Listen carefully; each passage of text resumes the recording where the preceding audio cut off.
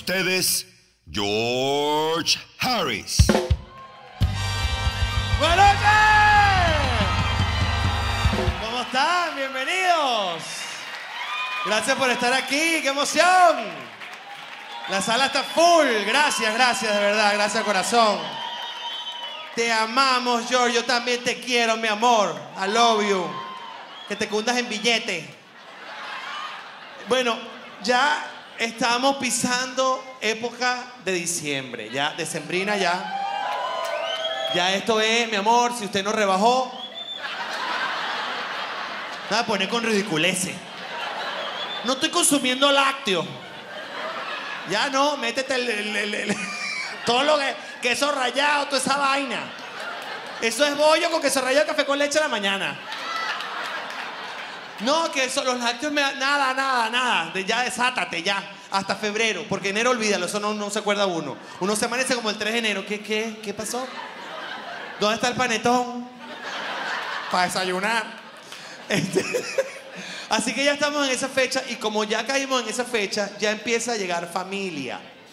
Ya empieza a llegar la familia de uno, del pueblo de uno. Aquella gente que, bueno, que pues, tiene para comprar, la vaina está muy jodida en Venezuela, pero aquellos que reunieron su platica para venir a pasar diciembre, para desconectarse del megapeo que tenemos allá. Entonces, por lo menos cagarse de la risa un rato, ver a la familia. Así que todo el Doral se va a convertir en doble, triple, quíntuple de lo que la población que tenemos. ¿Sabes que el Doral está? Ahí está, mira, esta es la familia. Eh, ¿Sabes que el dólar está invadido? El dólar está invadido por todos nosotros. La gente dice Doralzuela, pero allá hay también que jode colombianos y, como- y que jode otra gente. Pero pasa que no- nosotros los venezolanos hacemos mucha bulla, mucho ruido. Siempre la mujer con esas tetas, peo, vaina, tacón, las mechas, la vaina. Amiga, no chica, marica, ven para acá. Entonces, la gente se queda. ¡Erga! ¡Qué arrecha! La gente triunfa y entonces la gente le da rechera que uno triunfe.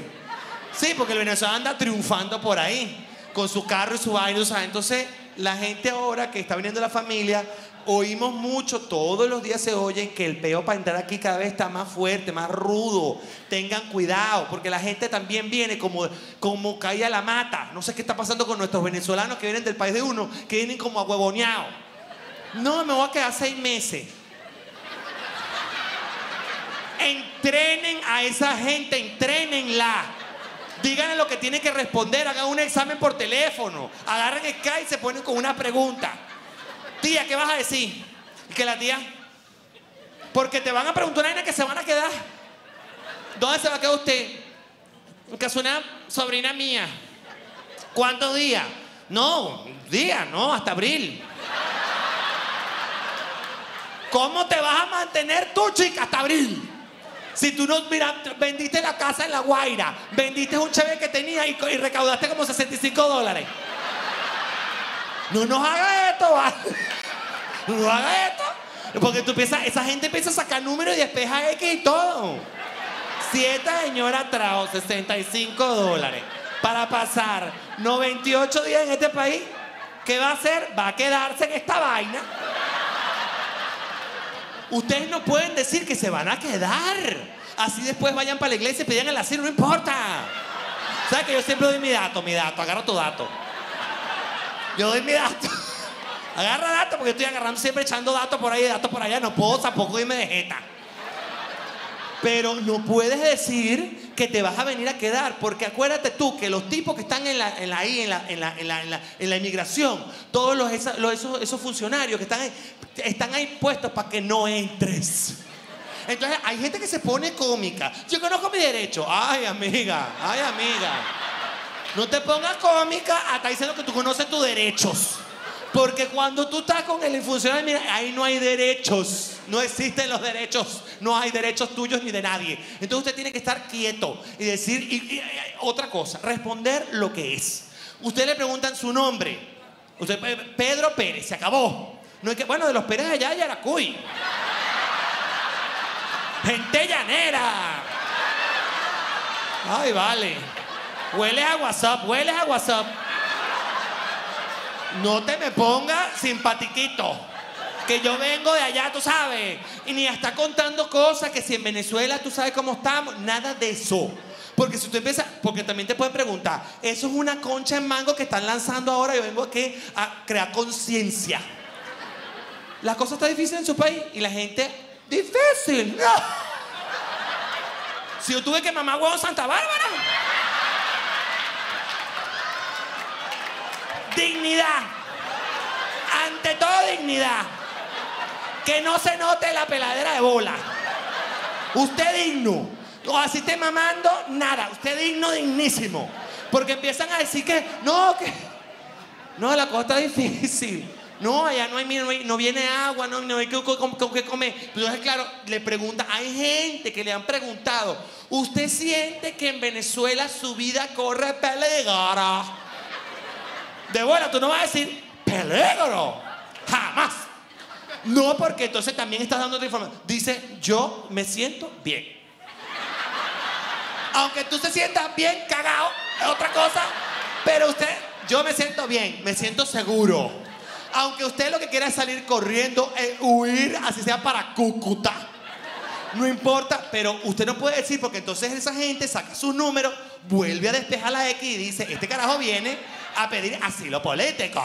Porque aquí la gente pide una... Mira, aquí todo el mundo pidió asilo, a mí no me vengan con cuentos. Los asilos están a 2x3, a 2x3, a 2x3. Te montan unos casos. Una gente que en su vida marchó. Yo que fui vapuleado, escupido, humillado. El partido político me, me- me- me cerró mi círculo.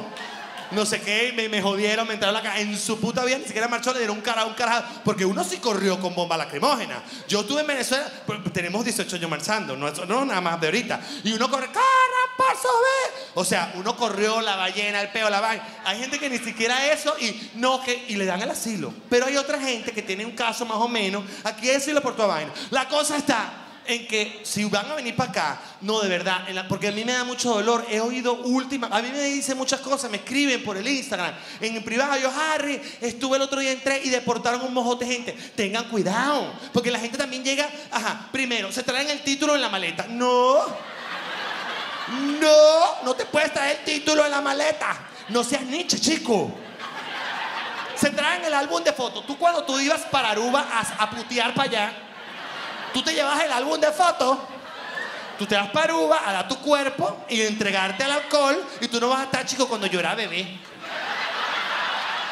Mira, mi mamá quedó flaquita, mira, vale, mira, mira mi familia, mi papá desapareció más nunca. Esa fue la última foto que tengo de él.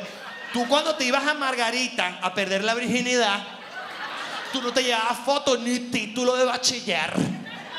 Es lo mismo. Supuestamente tú estás viniendo para este país a gozar, a gozar y volverte loco en estas navidades.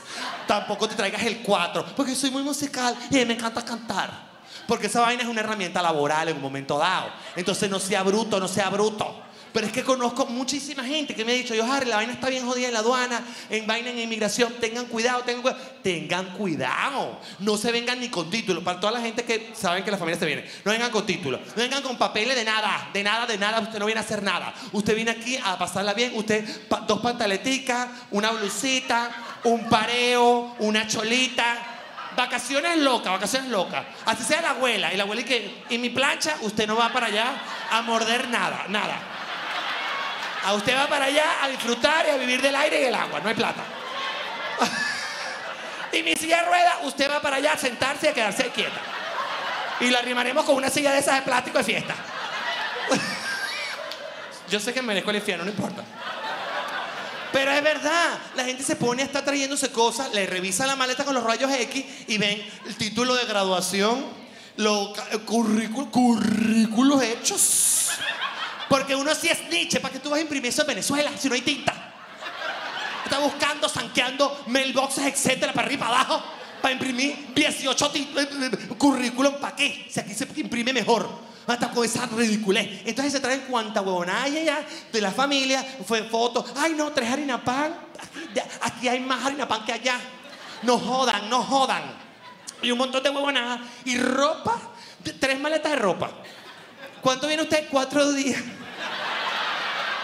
Si acabas de llegar a Miami y todavía no tienes carro, no entres en pánico, entra aquí, www.irencoautosalesmiami.com, que todavía te quedan dos amigos porque eso de llévame allá un momentico, no, dame la cola, porque es que toca hacer una diligencia, no tienes carro, yo escogí el carro de mi preferencia, el que se ajustaba a mi bolsillo y ellos mismos me lo financiaron, así que para que puedas triunfar en esta ciudad, entra. www.irencoautosalesmiami.com y triunfa.